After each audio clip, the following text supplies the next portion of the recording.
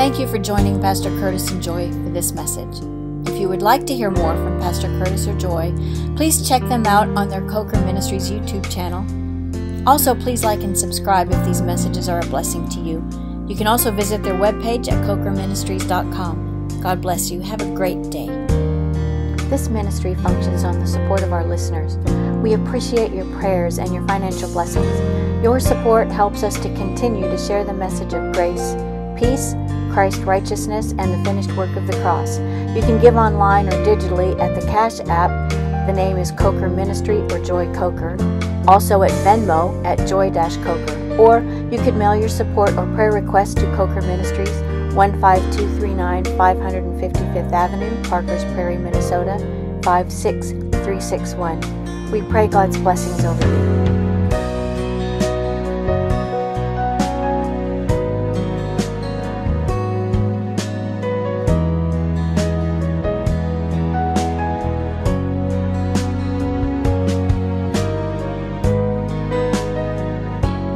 Remember, if you are in Christ, you are blessed, highly favored, and so very deeply loved. Again, thank you for joining us in the Word. Be blessed. And I'm trying to get them to ask questions, get them to ask questions. She shuts, we get done three hours later, she shuts it off. Hours later. Well, that, that's why I did ask him. Get three hours later, th- th- as soon as she shut it off, we sat down there, we relaxed, and went, we- we stayed for another hour and a half. I mean, my, we didn't get home till one o'clock last night. Woo! You going home before that? Hallelujah! You preach it, sister. Guarantee that, huh? Well, they were much older than you too, they stayed up later. No, I feel bad. Oh, Lord. Amen. This is good. Or is it, so is it running or not? It is. It is. Because All right. last time I did not, you were like, oh, we Oh, should have. That's, that's true, you did. Any, any, You're not going to hear it, are you? it's just, yeah, it's there. Does anybody got any questions? I mean, this is a small group, let's ask some questions. Somebody, somebody, let's get the ball rolling. Now, Oh, I've you're got, not leaving, are you? He's coming back. I've got a ton of stuff that I can share on, but, you know, it's, uh, you know, the, I really, anyway. And most of you have heard stuff already, and heard it three or four times, maybe long, maybe more. It's- And you it's- still question it. No, just. Do you want me to Go turn it off? No, it's not being recorded. We- Because this one is one that need, has questions, but Ah. he's not going to ask them. Okay, And- I'll, That's the form. okay. Yeah, ask him for him. There you go. Yeah, you know Because I don't know all the time what he's thinking. And, Yeah, well, ask him for him. and Okay, do you want me to turn it off or not? If you need it, we'll- we'll- it's up to you. Well, I'm not- How let's- soon will he be back? He, He ran home for a minute. I don't know. yeah, something, they need something there, so he's, he's running over there right quick. He'll be right. He just ran. His wife is has a little bit of temperature tonight, so she's not here. Turn her off, turn So her back on Well- when he gets here. yeah. I just, just, I just, you can pass on the, so if you don't have any pertinent, I mean, like, hey, Curtis, can you, you talked about this the other day, can you make that a little clearer? Let's do Are that. there any questions we need to ask for you? I'll try to. I mean, Yeah, yeah. tell us what. what- Tell us what we need. Tell us Well- what his questions are. Okay. To whoever's listening to this, I wouldn't worry No, you know, no. I wouldn't worry about the background, the background that, that they're associated, still associated with, Mm-hmm. is a Jesus name uh, only type belief, which they are believed in that you have to be sanctified by being baptized in Jesus' name, and you must speak in tongues in order to go to heaven. And and then you must obey the commandments of being holy and walking righteous and living a righteous life, and that and that every day you're tempted, and every day you should be asking forgiveness of sins. And so those sins must be constantly always before you, constantly always asking God, help me today not to sin. Help me today to to walk right and to be pleasing to you in your sight.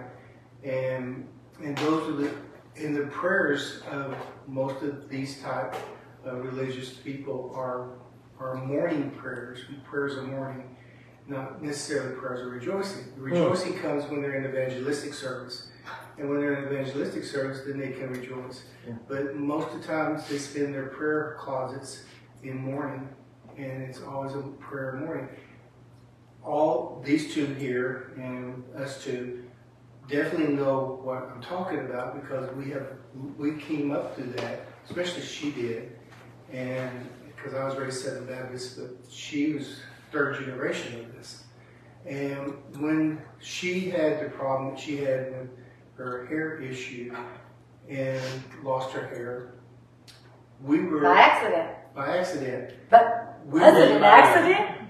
we were Best thing ever. Divine intervention. Divine- We That were, is exactly what it was. we were There's no doubt in my excommunicated. mind.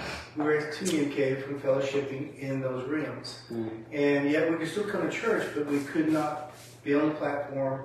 We could not hold offices and positions in the church. And so these two here never could understand because they couldn't even understand why what happened to us when we found grace and came out of the grace movement. And I keep telling them, I said, the most important word that is lost out of, the, out of that religion, even though they'll swear that they, they, they'll swear that they use it, they know it, and they, they understand it and all that. But truth is, the most important word is peace. Oh! They never have peace, Uh-uh. and they never can find peace. Yeah. wow. And that's the most important thing that they are struggling with. And grace is not taught, grace is only taught as a igniter to everything. Yeah. That grace really don't save you, it just gets you to the place where you can be saved. Hmm. It's just, it's, Sure. that's, Well- that's how, that's how, I never heard any. Well, I've got my Bible open. grace. Oh. I've got my Oh, Bible open, and there were a couple things we are going to talk about tonight. One was, what is really grace? According to Scripture, not Vine's, not theirs. What's the Bible say about grace? And we're going to talk about a couple uh, examples in Scripture. And the other one we're going to talk about was the gospel of peace. That most people have never heard. They've heard the words gospel of peace, but they've never had heard the, the doctrine or the theology of the doctrine of the gospel of peace. Because the gospel of peace comes from a covenant of peace. Because God made a covenant of peace, there's the good news of peace. Thus, we're supposed to shod our feet with the preparation of the gospel of peace. And that's why it says in Romans that how beautiful are the feet of those who preach the gospel of peace. And that's why Jesus said, My peace I leave with you, my peace I give with you. That's why in the book of Matthew and Luke, and Jesus shows up as a baby, the angels are in heaven and they say, Glory to God in highest, and on earth, peace and goodwill toward men. Not between men, but toward men, from God and man. After 400 silent years, they weren't scared of the devil in the old covenant, they were scared of God. Mm-hmm. It was God that opened up the ground and swallowed up thousands of people. 23,000 one day. 3,000 when the law just first showed up. 3,000 people died. Man. And so those so I think we're, we're on the right mark. Let's talk about, can we talk about grace right off the bat? This is going to give you, now, uh, please, we're a small group, but let's interrupt. I mean, if you have a question, uh, Allie can usually answer it. I'll just let You can. Yeah. I'll make something up. Yeah, there you go. You're, you're following my lead, see? You just let the Holy Ghost come on in. Uh, turn to me to, if you're in your, you have your Bibles, turn to Hebrews chapter 13. Hebrews chapter 13. Now, this is just a basic understanding of what the Bible says grace is. Now, we talk about the word grace. You have these churches that have grace fellowship, but they usually know nothing about grace. Hey, be careful No, It's hard. Oh, did I just, did I hit something? That's just what we're called. His, uh, his group is called Grace Fellowship. Oh! yeah, but you're starting to understand it. Okay. So, brother. I guess God's moving strong in this Holy Ghost. chapter, uh, chapter 13, verse 7. Remember those who rule over you, who have spoken the word of God to you, whose faith follow concerning the outcome of their conduct. Jesus Christ is the same yesterday, today, and forever. Verse 9. Do not be carried, uh, do not be carried about with various and strange doctrines. And Joy's putting this on the board. For it is good that the heart be established by grace. Now I'm just going to stop right there. I'm just going to read. Not with foods which have no profit, as have not profited those who have been occupied with them. Does anybody know what that's talking about? That's about the children of Israel. This is talking to Hebrews, okay, under the law. So that has not profited. Oh, I'm moving it a little bit because you're gonna be in the way of the word. ooh, I'm in the way of the word. Don't want to do that. Don't want to be in the way of the word. You- Let's use a different context. The way. Come on now. Out of the way, out of the way. I like that. So let's read this again. Do not be carried about with various and strange doctrines. Now, some people see what I love about this is everybody when they read this looks at their own denomination of the, the, their own way of thinking, thinking, yeah, see, what we know is right, and everybody else is various and strange. Mm-hmm. And that person, that group over there thinks they're the right ones, and everybody else is various and strange. You got one group over here says, well, unless you're part of us, you can't even be saved. You got another, no, you have to be part of us to be saved. Yeah, I remember telling board one time, we had to- we had to backslide from your church. to to The backslide. To go to Yeah, their turn it up, church. yeah. That's funny right there. Do not be carried about with various strange doctrines, for it is good that your heart, say your heart, Your heart. be established by grace. So that's what we need to have a heart established in, not by law. Uh, And and what are some other words that we could throw in there other than grace that are thrown in there? How about fear? How many people use fear to have the, the fear message makes people their heart is every time they read the Bible they it's, it's fearful. Yeah. I, I love what the scripture says. It, it I beseech you by the mercies of God to present your bodies as a living sacrifice. Did you see that word beseech? That's just a good word. I beseech you. I beg you. I plead with you to have present your bodies as a living sacrifice uh, by the guilt and fear and condemnation of God. No. What's the motivation in this? What is the motivation in us presenting our bodies as a living sacrifice? I beseech you by the mercy of God. A lot of people believe that's, that's not, that's, uh, your standards. The mer- mercy is God. It's not Put us. yourself as a body as sacrifice means to live in righteous standards. Right. To But, follow the rules. Yeah, but, but what's the that's- motivation? that's what- Punishment for it or mercy? See, you you you What have a church you in? the, the, the whole what? It says, "Court, what church are you in?" Yeah, well, there you go. But see, the old covenant was based out of fear of death. And the scripture says they were in bondage all their lifetime. Matter of fact, since we're in such a small group, let's just go over to Hebrews chapter 2, verse 14. Joy, we're going to go back to this over here. Let me put my finger there. Now, remember the book of Hebrews is written to whom? Hebrews. Inasmuch, verse 14, chapter 2 says, Inasmuch as the children have partaken of flesh and blood, he himself likewise shared in the same, that through death he might destroy him who had the power of death, that is the devil. Verse 15. And, this is what he did with his death, and release those who through fear of death were all their lifetime subject to bondage. So the Jewish people are all their lifetime fearful of death. And what made that? It's called the law of sin and death. You break the law, you die. Unless there's a sacrifice. So their whole existence was, was based on the fear of death. Man. Wonder why, you know, and we, we're not going to get, we could get into this tonight, but uh, the, there's a story in Scripture, Matthew chapter 17, about called the, the uh, I've got to change my, I got to go back the way it's called, the mountain of transfiguration. Does everybody know that story?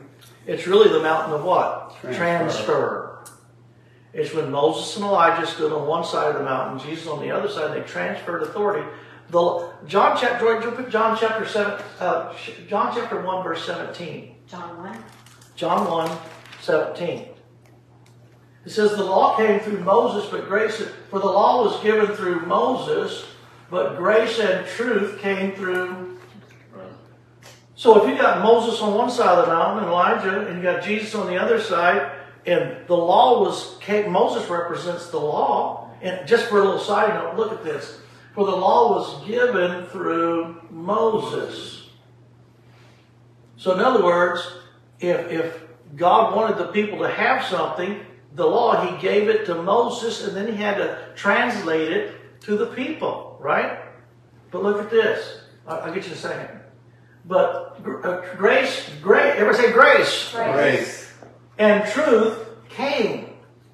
It wasn't given.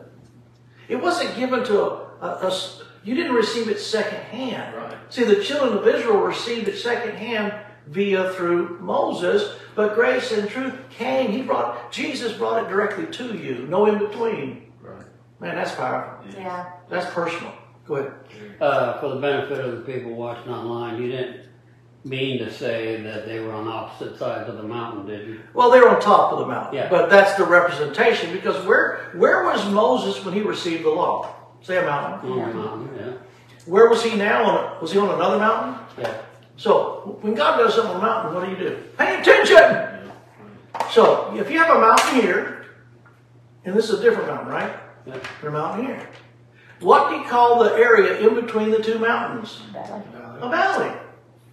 Well, doesn't the scripture say that the law is death? So if the law started here and the law ended here, this is the, oh, maybe that's why David said, though I walk through the valley of the dispensation of death, the valley of the shadow of death. Because he had a different relation, he had a new covenant relationship and an old covenant dispensation. He had an understanding that no one else had.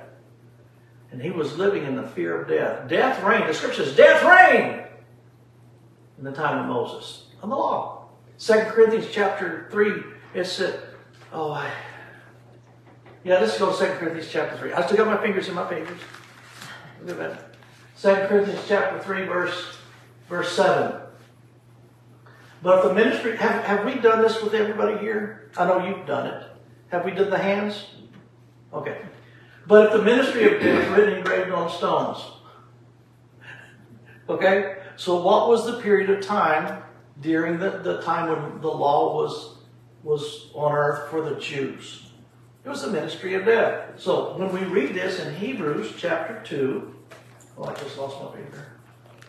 My place. It says, and release those who through fear of death were all their lifetime subject to what? Bondage. What verse was that again? 15. That was, that was 15. And so when you see this, and just for to keep on track here, in the book of Galatians, Before we move on, you want to read 16?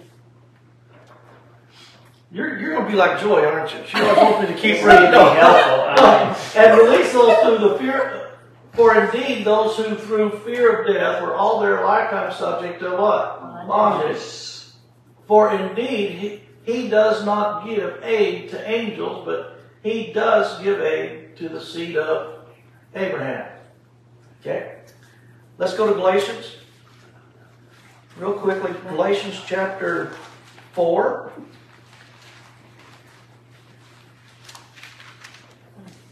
We're going to jump over here. Uh, I, I know we've talked about this before, but I've got to do this. uh, 21 says, Tell me, who desire to be under the law, do, uh, do you not hear the law? We're talking about the old covenant. What verse you on? 21. For it is written that Abraham had two sons, the one, bo- uh, the one by a bondwoman, the other by a free woman. But he who was of the bondwoman was, uh, was born according to the flesh, and he of the free woman through the promise. Which things are what? Symbolic. So on my left side over here is going to represent Hagar and Ishmael. That's the symbolicness, okay? On my right side is going to be Sarah and Isaac. Does everybody see that? So these things are symbolic. For these are the two covenants. Is there any argument with how many covenants we're talking? We're talking about the old covenant. We're talking about the new covenant, right? And it goes on to say, for these are the two covenants, the one from Mount Sinai, which gives birth to what? Bondage. We just read that the children of Israel were in bondage all their lifetime because said they're afraid of death, and that came through the law of sin and death. You sin, you die, unless there's a sacrifice. It says, Mount Sinai, which gives birth to bondage, which is Hagar. So Hagar and Ishmael represent the old covenant. For this Hagar is Mount Sinai in Arabia and corresponds to Jerusalem, which now is, and is in bondage with her children, even to this day, it says. But the Jerusalem above, okay, is free. Everybody say free. Free. Jesus said, My yoke is easy, my burden is light. I don't know too many religions, I don't know of any religion. Matter of fact, the heavier your religion is, the less Jesus is involved in it. Wow. But the Jerusalem above is free, which is the mother of us all. Let's just jump down in here. Verse 28. Now we, brethren, as Isaac was, are children of promise, but he who was born according to the flesh, then he persecuted him who was born according to the Spirit, and that's still going on today. Even so it is now. Nevertheless, one, uh, nevertheless, what does the Scripture say? Does everybody believe in Scripture? Shake your head. Everybody believes Yes, Scripture. yes. The Scripture says, "Cast out the bondwoman." So if you're going to obey Scripture, what do you got to do? That's out the. And what is the bondwoman? Law. The Old Covenant. So if you're going to be obedient to Scripture, bless God, hallelujah. You're going to stand up and say, I believe this word of God. And I believe it, don't get me wrong. But it says for us that are born of the new heaven, the new Jerusalem, to cast out the old, old covenant and live in the new covenant. It says it right there. For the scripture says, Cast out the bondwoman and her son, for the son of the bondwoman will not be heir with the son of the free. And I, we, one of our favorite things to point out to people is how many times we're, we're married, we're we're new covenant believers, but we have old covenant mindsets.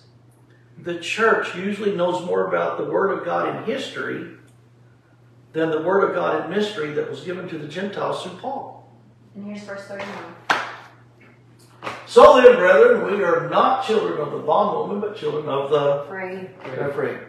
So if you're children of the free, what are we supposed to do according to Scripture? Cast out the Cast bond. out the bond, the, the bondwoman. Don't live under the old covenant. Romans chapter, I know we've done this, I just got to say it again. I, maybe Romans chapter 7, verse 1. Romans chapter 7, verse 1. Now, Rome was full of Gentile believers and Jewish believers that have been, Jewish people have been converted to Christianity. So, in other words, they were under a strict, re- religious, hard, fearful, God judging. They were scared of God. I mean, you can't get that past your, past your head here. But they had been born again. But they had a mindset. Or do you not know, brethren? For I speak to those who know the law. Gentiles didn't know the law. He's focusing on the Jewish people in the congregation that knew the law, that the law has dominion over a man as long as he lives.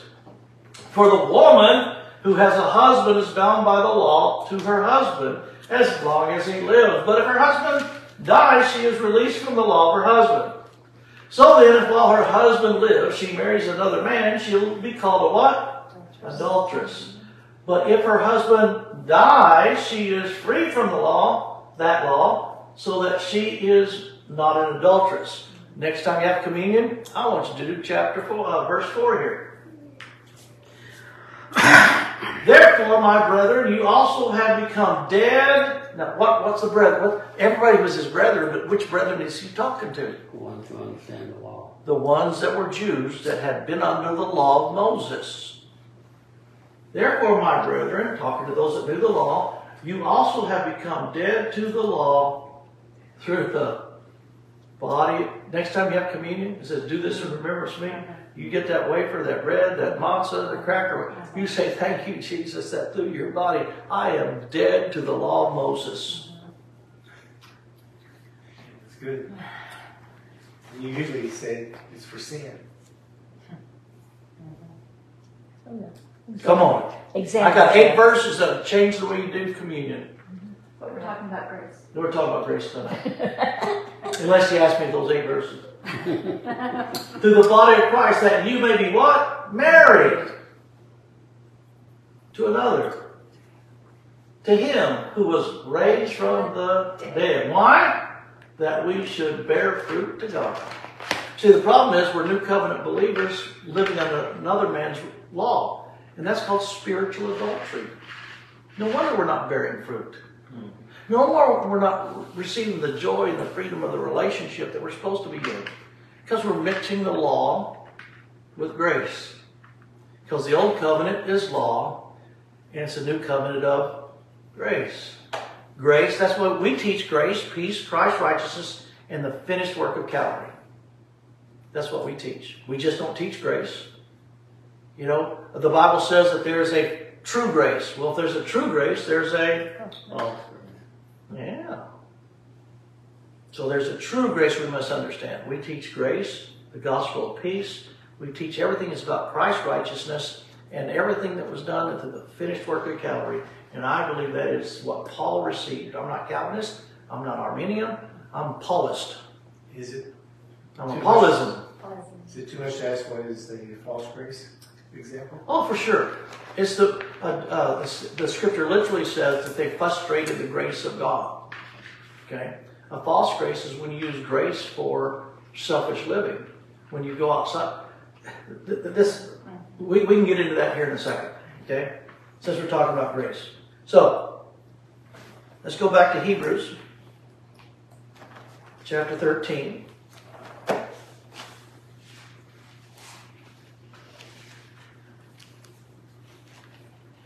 And I'll, I'll say that a little better in a second, Larry. No, I won't. I'll do it now. Uh, a false grace, everybody knows what doctrine is. Every group of people have a different doctrine. Yeah. They have a different theological uh, concept of God's Word and God and everything. So, Articles of faith. yeah, it's all, well, that's all, yeah. We call those fence laws, you know that, okay? And everybody's got their own laws they add to it, you know, to make them different. Whether, anyway, 150 different kinds of Baptist churches, you know what I'm saying? What can I say? Okay.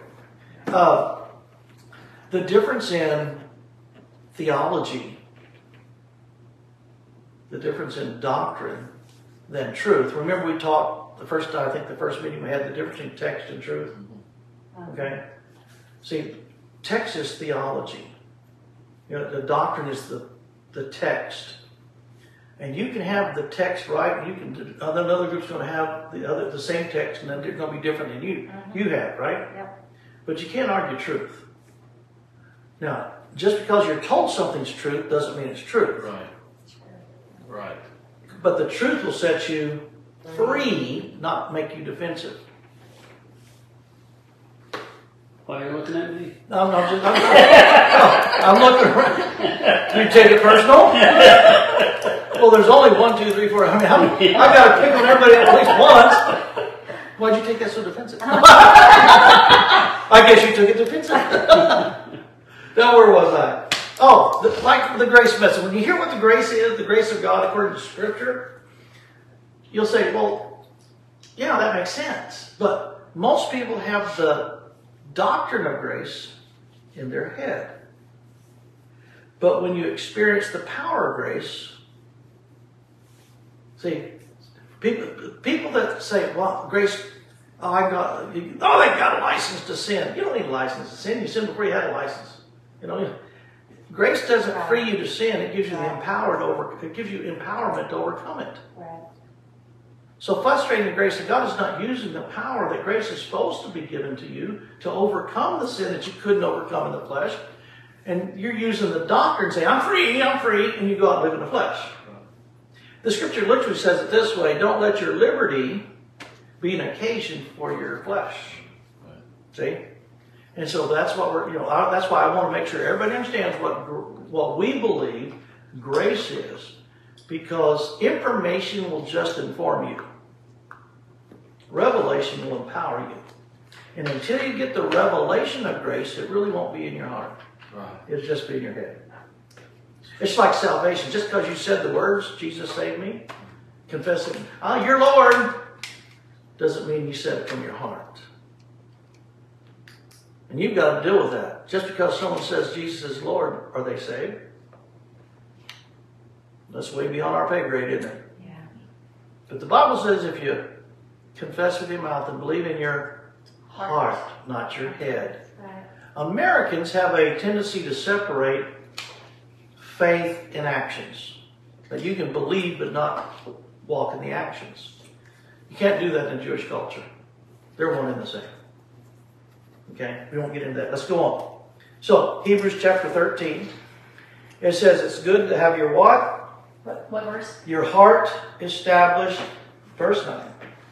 Do not be carried away, uh, do not be carried about with various and strange doctrines. So what this is saying, the only doctrine that's not strange is the doctrine of grace. So every other doctrine that is not founded on grace mm-hmm. is strange. Oh, don't hear that preached very often, mm-hmm. but that's what it says. It says, Do not be carried about with various strange doctrines. For it is good that your heart be established on the doctrine, the foundation of grace, not with foods which have not profited those who have uh, been occupied by them. Look at verse 10. We, who's the we? Those that are believing in Christ, that have their heart established in grace. We have an altar. This is so powerful. We have an altar from which those who serve the tabernacle have no right to eat. What tabernacle are we talking about? The Old Covenant. Those that serve the Old Covenant have no right to eat. From what, what, what? At the altar was the most personal thing in the entire Old Covenant. And we have an altar that we can eat from that they have no right to because they're under the law. We're, we're family. Well, that's something, you can't, this is good stuff. We have an altar from those who serve the temple have no right to eat. For the bodies of those animals whose blood is, is uh, brought into the sanctuary by the high priest for sin are burned in, uh, outside the camp. Je- therefore, Jesus also, that he might sanctify the people uh, with his own blood, suffered outside the gate. Therefore, let us go forth to him. What's it mean outside the camp, outside the gate, bearing his reproach? If Jesus would have died inside the city, we'd all be Jews.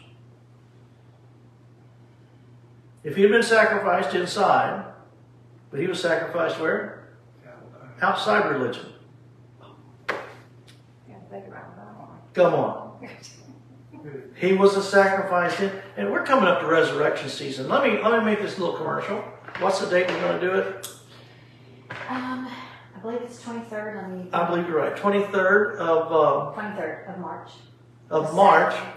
Uh, we're going to be teaching. It's a five hour teaching, but we break in the middle for uh, for Brisket? for brisket or uh, barbecue, and we do a five hour teaching on the resurrection season and everything that everything that we know of as today that took place, where Jesus fulfilled. When it says he fulfilled the law, we have no idea how many things he fulfilled.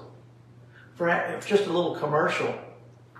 In the Talmud, uh, there, there's several books that the, the Jews have as records. You have the Talmud, the Mishnah, the Midrash, and a couple other, but those are the three main ones that give more about the Jewish culture and history than what we have in the Bible. You know, they don't contradict, they add to. Okay? And I've got a theory. If you can read something from some other writing that, that adds to this, that magnifies this, that's in agreement with this, read it. Now, it's not inspired, but if it helps you understand the, the stories, read it. If it contradicts this, chuck it. Just don't even throw it away. But the Talmud, the Mishnah, uh, they literally said that, that the Jewish people every year would take the Passover lamb that was selected and they would inspect it. The first step of inspection is to inspect its hooves, you know, its feet. And it says six days before the Passover, take spikenard and rub the feet of the hooves to indicate that this is the start of the inspection process six days before the Passover.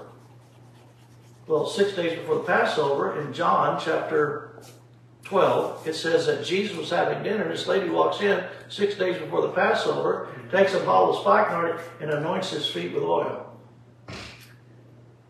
Some of us believe that the first drop that hit the sheep's hooves, the first drop hit Jesus' feet at the exact same moment in time. And that wouldn't be that much if that was just the only one, but in Mark chapter 14, it says that two days before the Passover, a lady comes in, Jesus having dinner, and anoints his head with spikenard. Yeah, you know the story. Guess what the Talmud and the Mishnah say? Two days before the Passover, the Passover lamb, once it's inspected, its head is anointed with oil to show it's a perfect sacrifice. Some people believe like I believe, the moment the first drop of oil hit Jesus' head was the same time when the lamb was being anointed. We go through the whole process. It takes four straight hours. I will tell you, it starts at 3 o'clock, and we have worship first. So he will probably start about 3.30ish. And the reason I'm saying watch it live, if you want to watch, because we show some videos that usually get blanked out. Get banned from Facebook okay. because they're copyrighted laws. But they can't block it out when it's just live. And we encourage people to go eat, go buy some barbecue and wait till we eat and then eat with, you know, shut up, eat barbecue with us and uh-huh. be part of the family, uh-huh. you know, and watch it. But, you know, when, when the priest takes the knife and cuts the throat of the Passover lamb, he says, It is finished. Been that for hundreds of years. And Jesus, I believe Jesus at the same time said, It is finished. Okay, Grace. It's full. Let's go back to Grace. All right. So, turn with me to 2 Corinthians chapter 12. 2 Corinthians chapter 12, verse 9.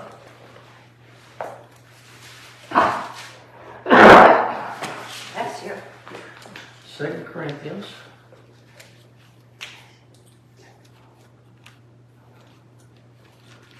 What did I say?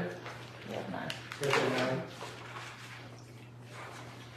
I should just turn around, but that's all right.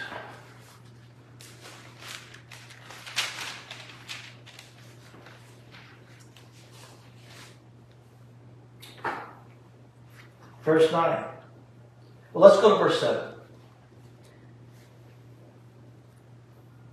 Unless I should, should be exalted above measure by the abundance of the revelations of a thorn in the flesh was given to me, a messenger of Satan to buffet me, lest I be exalted above measure. Concerning this thing, I pleaded with the Lord how many times? Three times. That I might, that it may depart from me. Verse 9. And he said to me, My grace. Now, whose grace is it? Jesus' grace and he's speaking to Paul. My grace is sufficient for you. And now he's going to describe his grace. For my strength is made perfect in weakness. So Jesus is describing his grace that we're supposed to be founded on in our heart as his strength. It is the strength of Jesus working in our life. To do what? To walk through, overcome, and deal with the things of this world. We, we, we, our heart needs to be, it's not about me doing it, it's about me letting the strength of Jesus work in me. Does everybody understand that? Turn to 1 Peter chapter 4. 1 Peter chapter 4.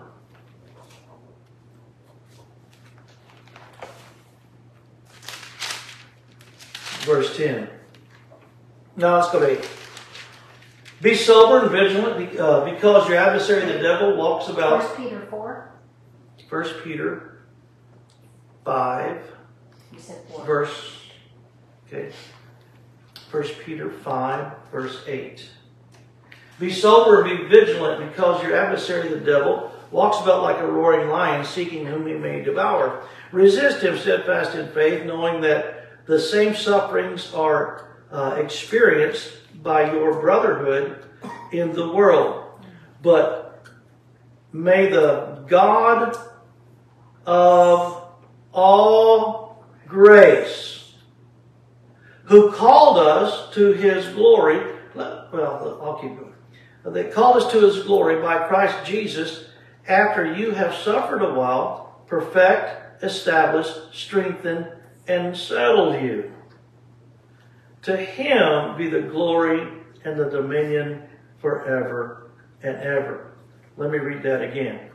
But may the God of all grace, who called us to his eternal glory by Jesus Christ after you suffered a while, perfect, establish, strengthen, and what? So, So what does grace do?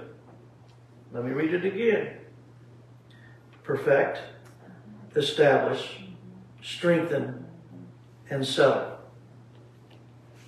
Wow. See, it doesn't.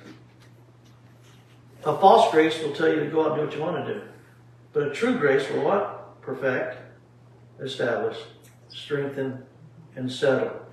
Man, that's that's a whole lot of difference. 1 Corinthians chapter 15, verse 10.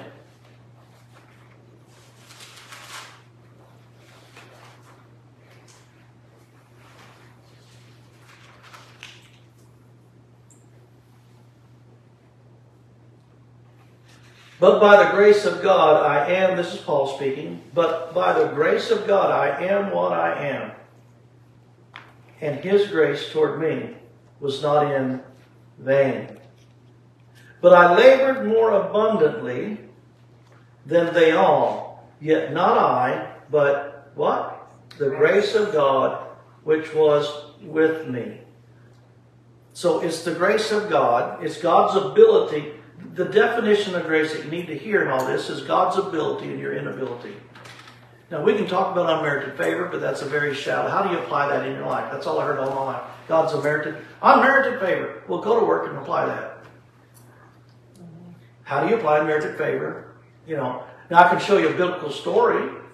Matter of fact, let's do that. Everybody know the story of Christmas? Little girl named Mary. You know what the you know what the scripture says about Mary? She said she was greatly afraid. It says when the angel showed up, let's turn there real quick. Luke chapter chapter two, chapter one. This is a perfect example of our life in story form. Luke chapter 1, we're going to skip down a few things. Well, see in verse 27, he approaches Mary. In verse 28, he says, And having come in, the angel said to her, Rejoice, highly favored one, the Lord is with you. Blessed are you among women. But she what? But when she saw him, she was troubled at his saying and considered what manner of greeting this was. Did she really hear what he said? Or was she troubled what kind of greeting it was? Well, the next verse. Then the angel said to her, Do not be afraid. So she's afraid in her heart and she hasn't been able to hear what the angel has said. What message do we get from this? As long as you have fear in your heart, you won't hear the true word of God. Have you seen some of those angels? Do what? You've seen some of those angels. I'd probably be afraid too. Well, actually, it just looked like a man to her. Oh, It wasn't, uh, didn't have great big wings. You know, this is just, see, what? See, in the Jewish, in the Jewish culture, a man wouldn't even walk up to a, a 13 year old girl that he didn't know and start talking to her. And even if there was, there are usually other men around, and there was a way, this broke all the culture stigmas of the time. Then the angel said to her, Do not be afraid, Mary, for you have found what? Favor. What's the basic understanding of the word of the, the grace? The word grace? Unmerited? Favor. Oh, it was the grace message that took the fear out of her heart. Hmm. The angel told her that she had favor. Wait a minute. Then the angel said to her, Do not be afraid. Why? You have favor with God.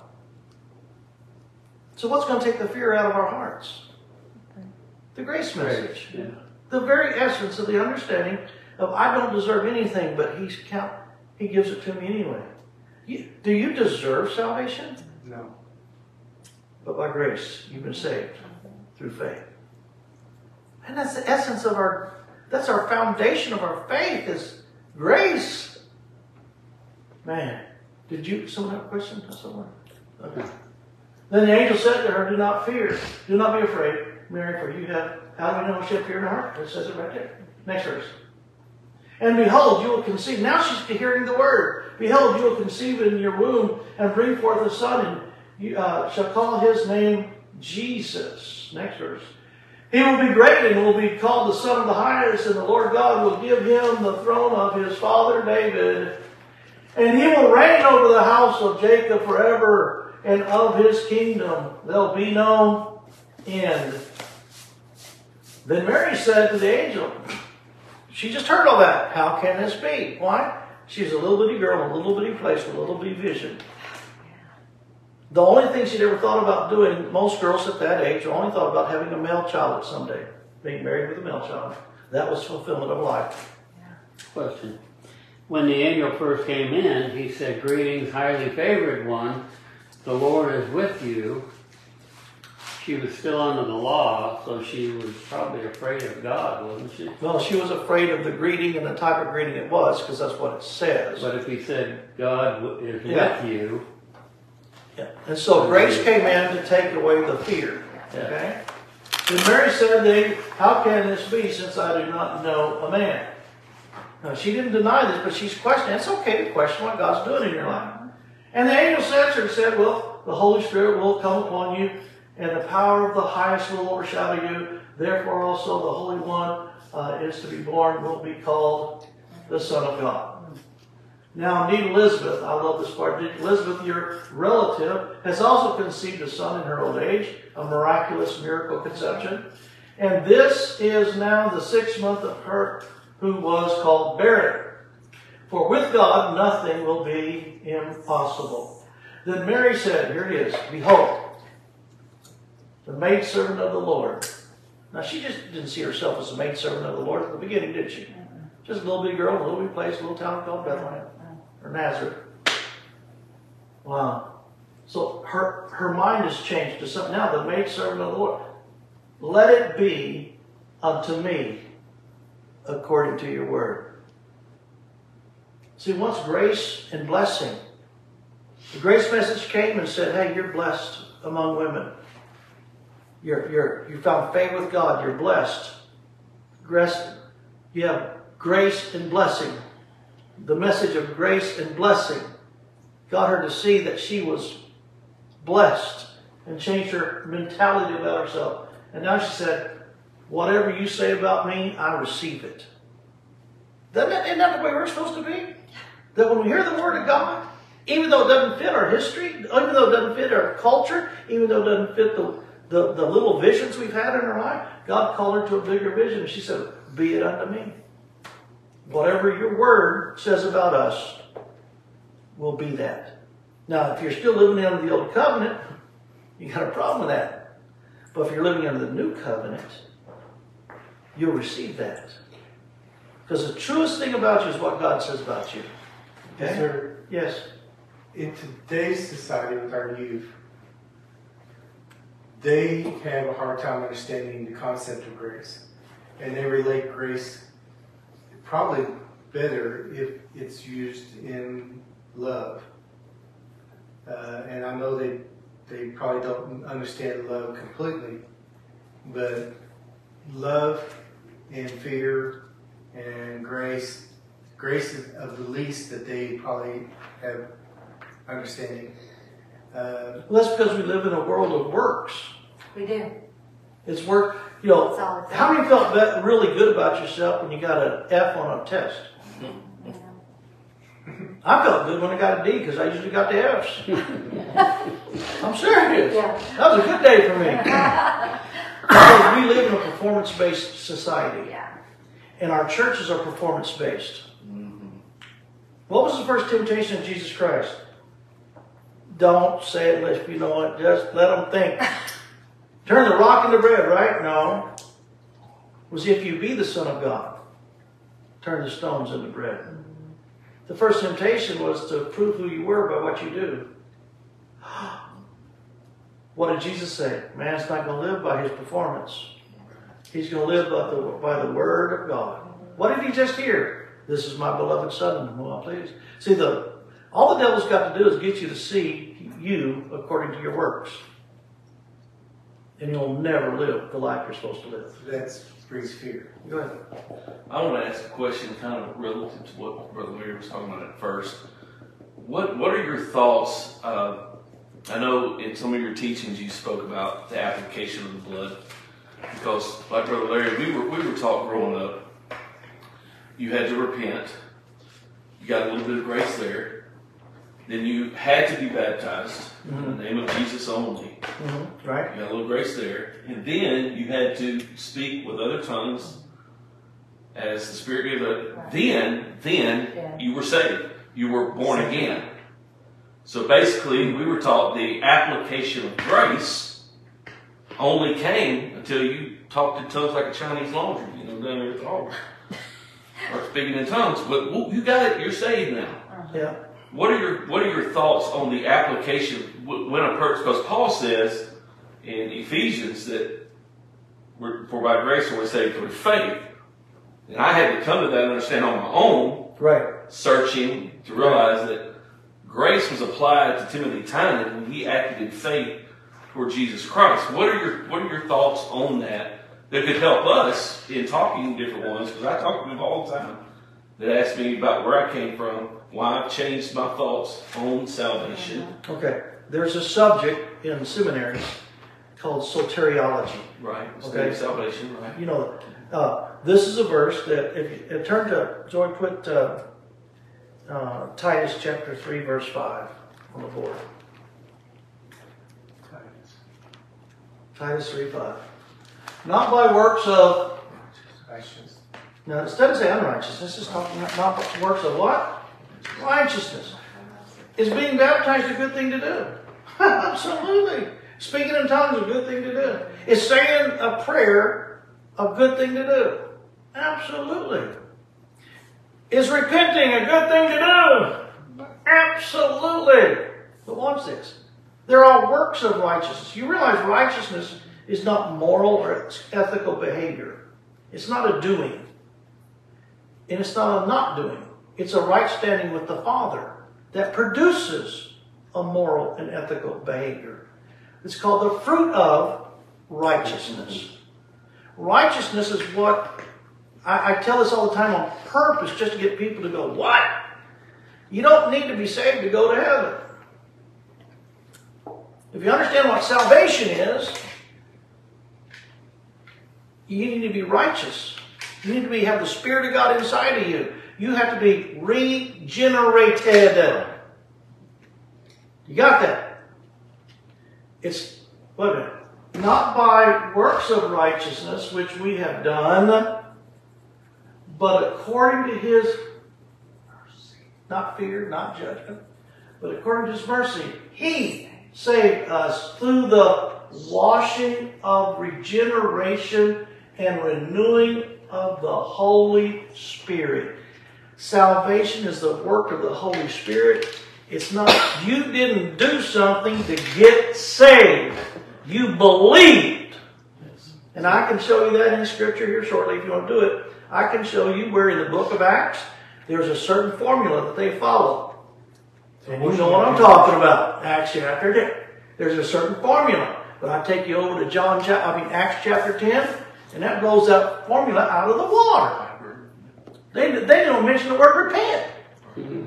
They believe and they start speaking in tongues. Yeah. Believe and receive. Then they get baptized, yeah. They just believed, that was all they did. You know, That's I all mean, did, right? You know, so that's what I'm saying. It's not. See, there's a there's also a group of people out there called what we call them water gospel, that they believe that you're not saved until you get water baptized. That that's what saves you.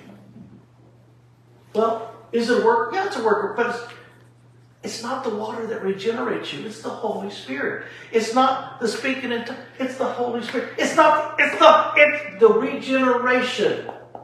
And you're renewing, getting rid of the old man and putting on the new, Right. is a work of the Holy Spirit. The moment you believe, that new man is created on the inside of you. It's no longer you that live with Christ that lives on the inside of you. It's Yeah. basically But that's that's where they would take you to the speaking in tongues is the Holy Spirit. Right. It- it is Take a- you back to Acts chapter. That, that's fine. Yeah. That's that's great.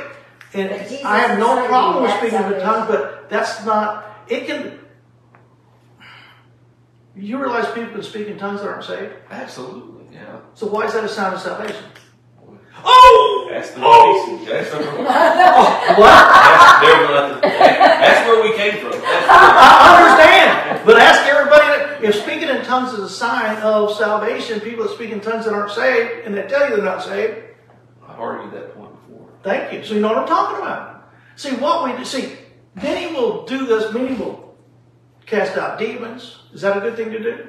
Hmm. Many will do these things, In my name. but in that day they'll come in and says, "Lord, Lord, I never knew you."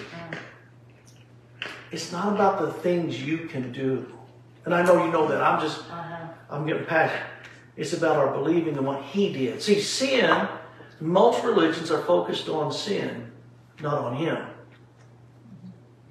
I believe if we focus on Him, we won't sin. Right.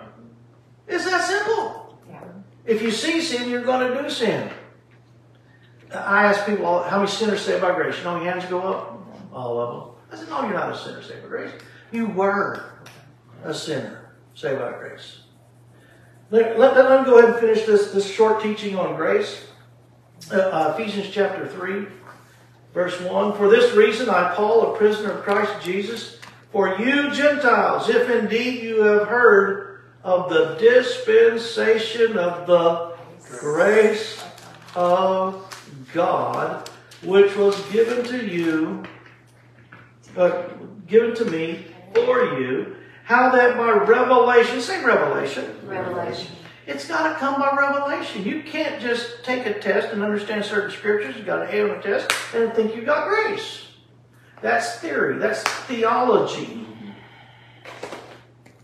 But you can know all the theology that you think you know and not have it. Right. You can know the text and not the truth. How that by revelation he made known to me the mystery, as I have briefly written already, by which when you read you may understand my knowledge in the mystery of Christ, which in other ages, say other ages, which in other ages was not, say the Old Covenant, say the Old Testament, Okay. all the way back, okay? Listen.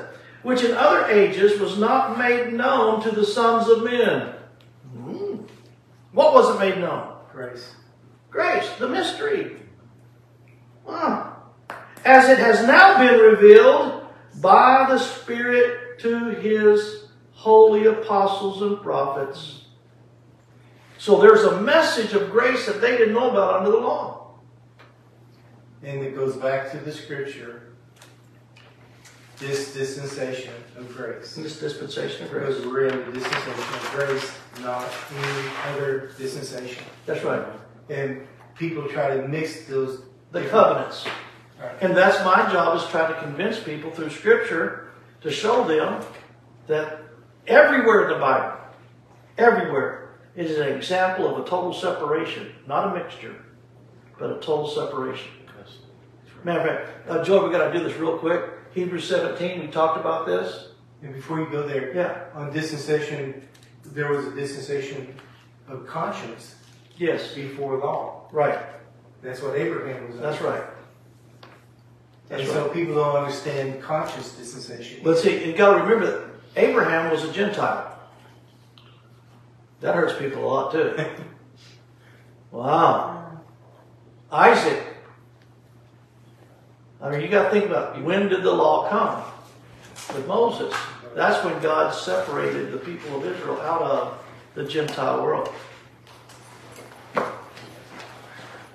Those, that- sandwich- those that- sandwiches will be there when you're done. Was that meant to They ain't sandwiches, I mean. be? Was that meant to be Which- what- what- that way? which- what- what- what's that? I mean, The law? was it meant to be that way? But Abraham being a Gentile until, we've heard that the law was added because man wanted it to be added. And it was not intended for it to be part of the, the journey of God, our creation. No, no.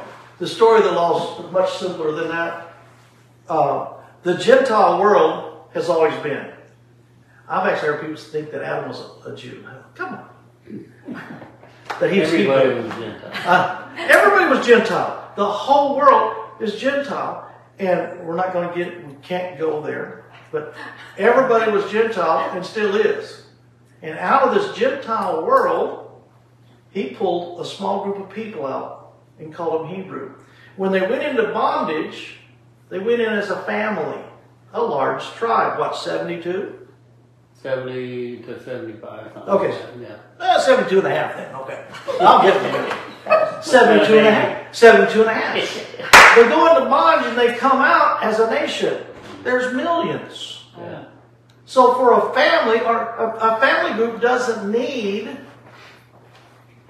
bylaws and constitutions, but a nation does. For them to become an organized nation, and literally what it is is God has always wanted a group of people to live in a way that would bring Him glory. But if He wouldn't have put brought them into the law, the Bible literally says that there wouldn't have been a seed remain that we'd be like Sodom and Gomorrah.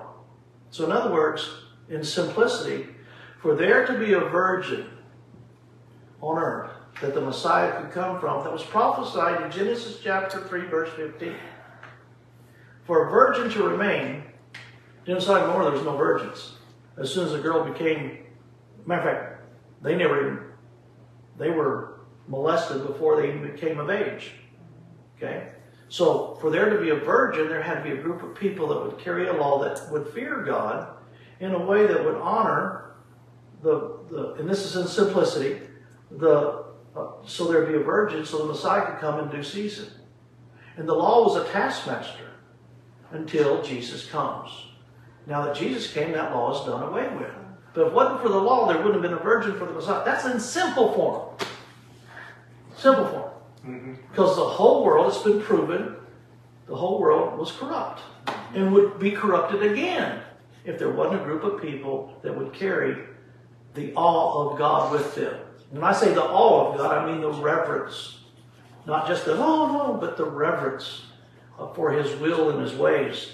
And so He gave, made a nation that would be His people, His special people. He was always with them. The rest of the world still lived under these laws. We won't even get into that. And so when the Messiah came from a virgin, Jesus came as a baby, the virgin, fulfilled all this law that he gave, then that law was done away with. And we're not living under that. Fact, this was the law of sin and death. Why are we still wanting to live under the law of sin and death? I don't understand that. You know, the Bible says over here, kill your enemies. Over here says love your enemies. What do we do? We love to kill our enemies. Stop it. We're missing the boat. And to answer your question, the law had to come. And that's a simple explanation, much deeper than that, but that's a simple explanation of why the purpose of the law was. I mean, there's a story where uh, two angels came down, and all the men of was it uh, Sodom wanted to have sex with the angels. The angels were going to be corrupted. You see what I'm saying? Everything was corrupted. Animals were corrupted. What happened before the flood? Everything was corrupted. The, the, the angels came down, the fallen angels, they came down. had sex with the, the daughters of men, made the Nephilim. Just not that, but they perverted the animal, the, the, the animals. It was a mess. And it would have continued if there wouldn't have been a group of people that would have that awe and reverence of God to honor His word and His will. To, so a virgin, so the Messiah could come. Man, that's, that's as simple as I can make it. Yeah, it was on purpose. So. Okay. So it's good to have your heart established. Go to Matthew chapter 17. Let's do this real quick. Just show you. Uh, I don't think we, maybe, did, I don't know. If I've shared this, let me know. I, I forget. Now, I don't know if we'll do the whole thing. Now, after six days, did we talk about this before? Mm-hmm. We did shake your head if you've heard this? Okay. Now, after six days, Jesus took Peter, James, and John. Just got a little revelation today, too. Now, after six days, Jesus took Peter, James, and John. His brother led him up to life. What comes after six? How many days of creation is there? Seven. But God rested on the seventh, so there's six days of works, one day of rest. So after six days of work, what's the next day? So this is happening. On rest. In other words, Moses and Elijah represent the period of works. Wow. The period of the law. Jesus represents the day of what? Rest. Rest. Jesus took Peter, James, and John, brother, led them up to a high mountain uh, by themselves. And he was transfigured before them. His face shone like the sun, and his clothes became as white as the light. And behold, Moses and Elijah appeared to them, talking with him. Moses represents the law, Elijah represents the prophet, Jesus represents grace and truth, right? Yeah. Then Peter in answer said, Lord, let us, uh, it is good for us to be here. If you wish, let us make three tabernacles, one for you, one for Moses, one for Elijah. So either they're bringing Jesus up to the level of the law and prophets, or they're bringing the law and prophets up to the level of Jesus. But God steps in the conversation while he was still speaking. Behold, a bright cloud overshadowed them, and suddenly a voice came out of the cloud saying, This is my beloved Son, in whom I'm well pleased. Hear him, not them. That's a powerful revelation. Now, for the sake of time, let's go over to. Uh, oh, let's just go ahead and read it. Let's, let's, and when the disciples heard it, they fell on their faces and were greatly afraid. But Jesus came and touched them and said, Arise and do not be afraid. When they had lifted up their eyes, they saw no one but Jesus. because the law and the prophet had gone from this earth. They're no, no longer in this dimension. But, okay, uh, now as they came down from the mountain, this is the point I want to get at, Jesus commanded them, saying, Tell, they just heard from God, and they're told not to tell somebody. Tell this vision to no one until the Son of Man is risen. What does that indicate from the dead? The new covenant.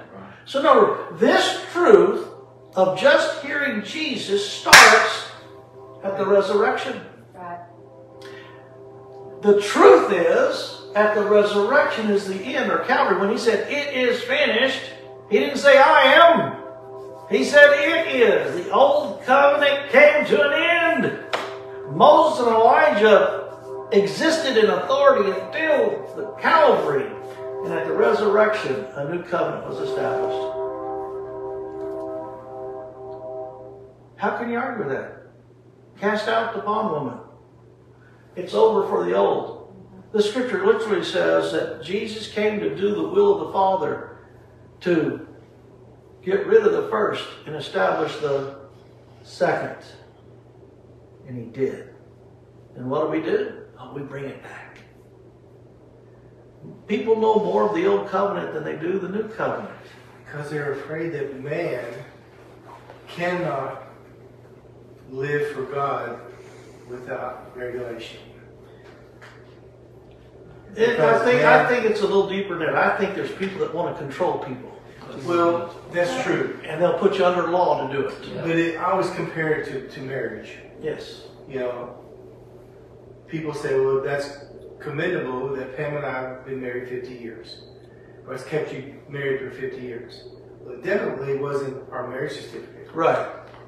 Because Exactly. I have never even seen the marriage certificate in 50 years. So you could be off the hook. Yeah.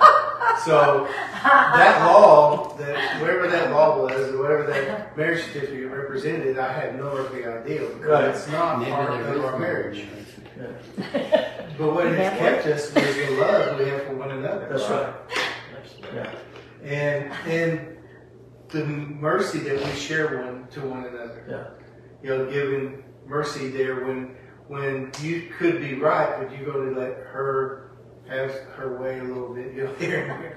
Give some mercy, you know. A little bit? Ah! Ah! She almost rebuked you on that one. but what I'm trying to get to is it's a relationship. That's right. And and people don't have relationships with Jesus, and that's where they fail. But That's Pam, Pam will tell the story a lot of times that before she became truly in- knew the love of God, because she was living under fear. You can't know love if you're under fear. You can't get close to someone. And there are a lot of women that go right back into a marriage that's That's right. abusive Yeah. because they think they have to have fear to be in a marriage. Yeah.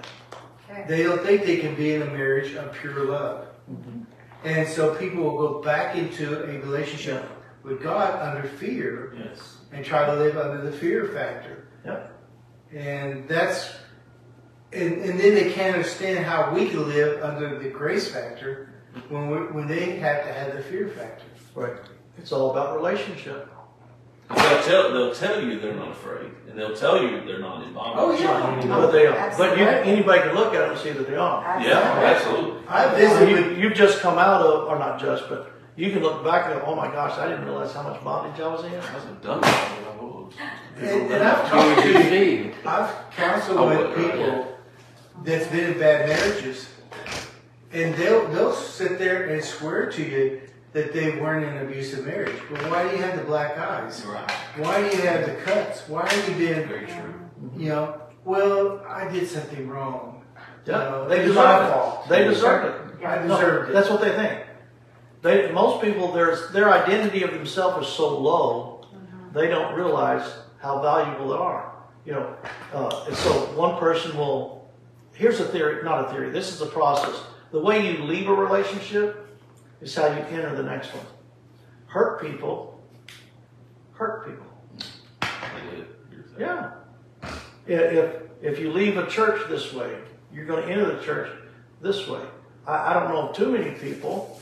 Uh, if a person has been wounded by a mate over here and they get married to another mate over here, they hold this new mate responsible for the way the old mate, not even on purpose, but it's like they have a wounded heart and they're sensitive. So the first time something happens to touch that wound, but see, that's why Jesus came to heal the broken hearted. They're supposed to be healed. And that's why we do our teachings on heart physics that we did at the church for the, the first few months we were there to get people's hearts healed. Because you can't. As long as you have a fear based relationship out of low value and self esteem, you'll always enter that relationship again. You know, usually women that uh, think they're no good or stay in an abusive relationship and they leave that abusive relationship and enter another one. And it's just a because they don't see the value and dignity that God sees in them. And that's why we need to see ourselves the way God sees us. You know, we need to get our value dignity from what this says, just like Jesus said, man's going to live by the words that proceed out of the mouth of God. So grace is really, grace can be put into a word that it's really a relationship. Grace is God's A ability. relationship of love. Paul said, His grace is sufficient for me. I don't have the ability, but through Him, I. Paul said, I do more works than all the other apostles. Why? Because of the grace of God. And- And and- he says it this way I know in whom I have believed, not what. And see, that's what you're talking about. There's a, a personal, the, the, the, there's a, a Greek word called gnosko. Uh, it's the same word as in Hebrew called yada. In uh, Genesis 4 1, Adam knew Eve. Adam yada Eve. They had such a close relationship. There was intimate, personal relationship. Absolutely. And it's the same word in Greek called gnosko. It says, uh, "De- "Depart from me, I never knew you. I never had an intimate, personal." re-" That's heart. Mm. That's heart. And so every time you see the word "know," it's talking about a a, a, a reality of an experience or an right. experience that's a reality. They could do it as word, they could cast out demons in word, but they didn't. I never could know skilled you. They knew it up here, mm-hmm. but they didn't know it here. Uh-huh. And can I just say too, Yeah, you- sure. I, lo- I love you talking about love so much, Larry, because Jesus was telling Nic- Nicodemus, you know, it's because God so loved the world, He gave, right? Mm-hmm. And it says in the Word that God is love. He might have wrath, He might have judgment, but He is love.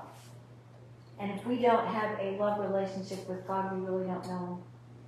But when we are allowing His love to flow in me and, and allowing myself to fall in love with Him, mm-hmm. like you said, then I'm not going to want to do anything But- unrighteous. Right. Though but- those unrighteous things might come my way, and what? But mm-hmm. you know, mm-hmm. Papa, I love you.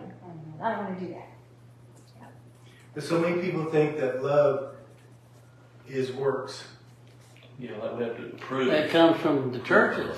A lot of the churches. Yeah. Yeah. But with the chur- if the churches are beating you over the head with the law all the time Oh, yeah. and making you aware of how you fail Yeah. all the time, Oh, yeah. you're focused on yourself. Yep. You can't have a relationship with God because you're always looking at yourself Always. and saying, well, I screwed up again. I gotta repent. I gotta Yeah. pray, you know, and, and maybe He'll forgive me. And He's already forgiven us. And then you're the focus, and He's Yeah, not. Yeah, yeah, that's what I'm saying. We focus, sin's not the problem; it's the issue. yeah, If we, the more we focused on sin, the less we're focused on Him. yeah. The more we're focused on Him, the less we're going to sin. So let's we focus on ourselves. There's things that Pam does for me that they think, well, she's your, she just slaving to you because she. And I said, I never asked her to do that. And oh, you don't order her to do it. But she does it because she wants to love me. Mean, she loves me. She just wants to show love. And she and likewise, then I had to turn around and and retaliate back with love as well. You know, it's it's not that, and that's not because she had to give love for me to receive love from me. It's just that it's just something that we just becomes second nature to you. You just want to do it. You show your love, but be from your appreciation of her love. That's right. And that's the way it should be with us and God. Like you teach God, uh, the new, the old covenant was reactive. Uh, we, uh, we would do something and then God God would move. Now, under the new covenant, God's done everything, and, or He'll do for us, and then out of uh, appreciation and love for Him, Yeah.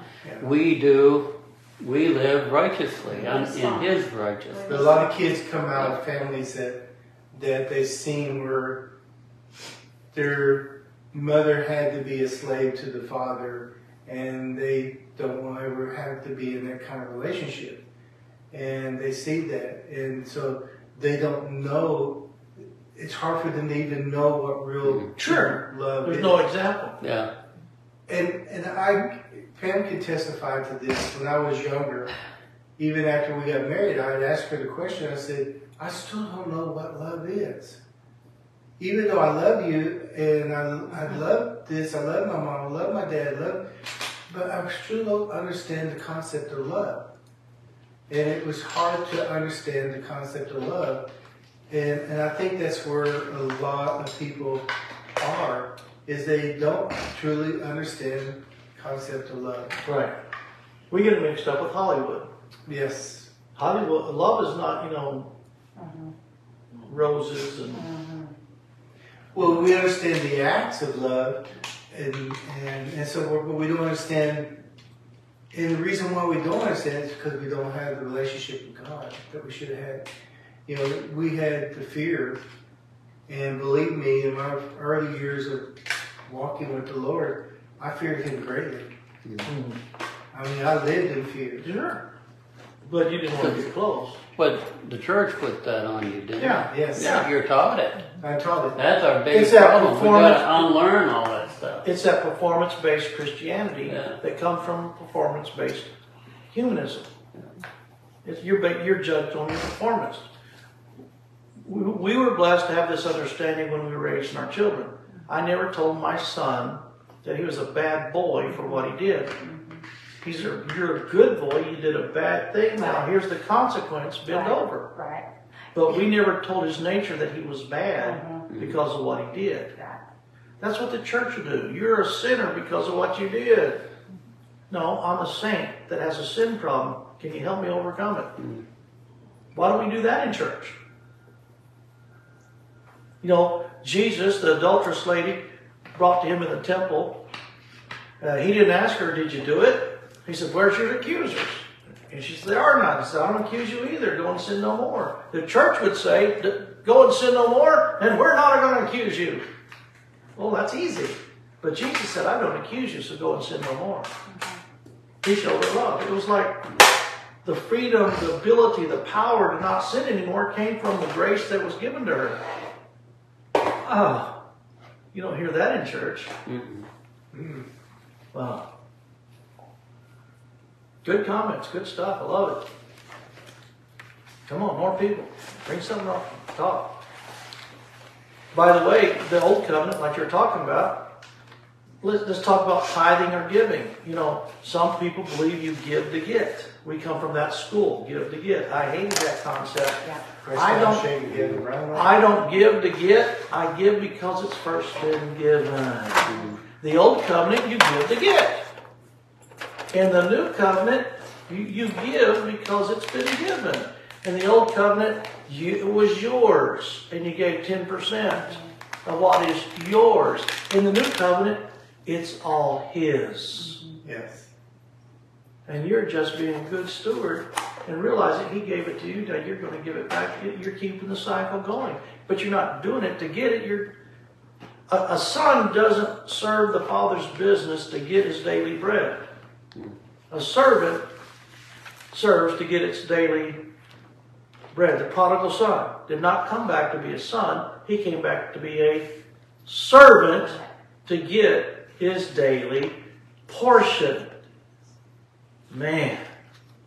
The other son, I love it. The other son, all these years, I've obeyed your commandments. And you've never done that for me. Give him a party, right? What did he do? He obeyed the commandments. What did the son say? What did the father say? All these years, it's always been yours to have. But he Could have never thrown a took party anytime you he, wanted. he could have, but he always was focused on doing the commandments. See, the story's not about two sons. The story's about a father who had two sons that didn't understand their relationship with the father. Mm. Sounds like church, doesn't it? Yeah. Yeah. Yeah. You brought up tithing, so to for a pastor or any leader to teach tithing as an absolute requirement to leadership and all that, wouldn't that be under the law, living under the law? Absolutely, it's cursed. Yeah, that's what I agree. Yeah, if it's not done, you know, it's not a, uh, they always go, yeah, that's all under the old But they'll, but they'll be the first to tell you, these same churches, that we're not under the law of Moses. We're not under the law of Right, Moses. right. But Well, they'll go yet back, they, they teach that. yeah, I mean, it takes that to keep the doors open and keep Larry, the prison Larry and I, before we left, we were told we would be cursed. Yeah, that we would be cursed. Those words were told to us. We will be cursed. If you do If not. you do not give, whatever, whatever. Wow. That we would be cursed, and that if you First did, time that's ever been told and as a minister, if you Ever. had a savings account Yeah, and and you were saving and not putting it back into the work of God, then you are stealing from God. Wow. I appreciate a church in the foyer. They put the non-tithers on a list. That's true. You went in, there was a list of people that said non-tithers. Low, low, That is low. total condemnation. Wow. Yeah. And then people still go there.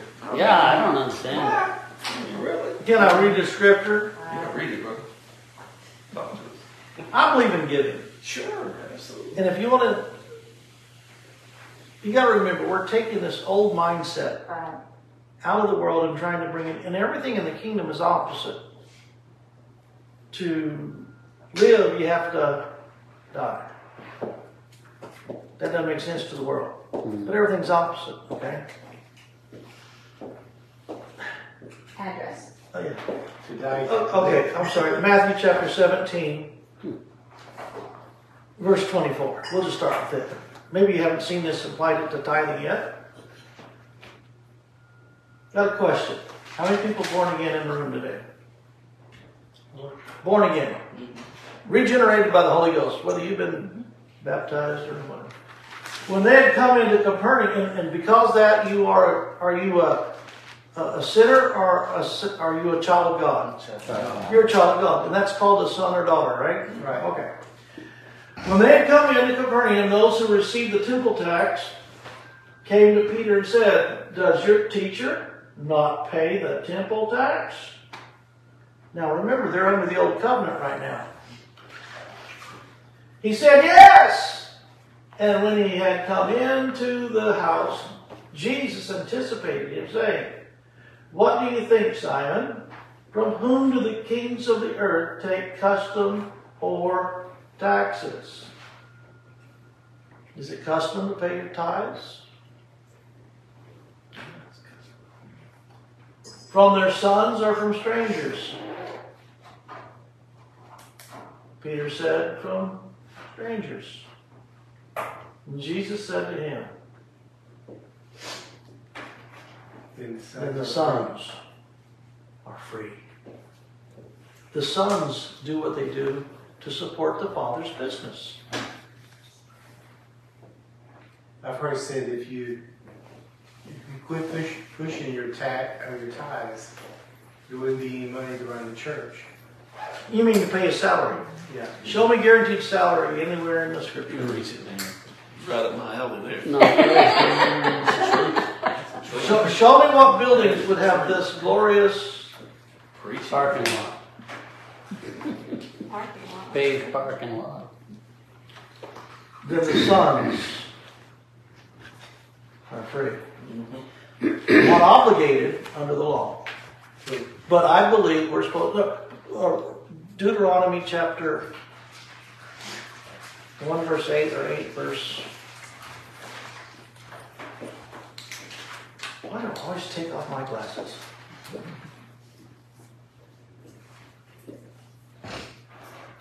Let me find this. I think it's Deuteronomy 8.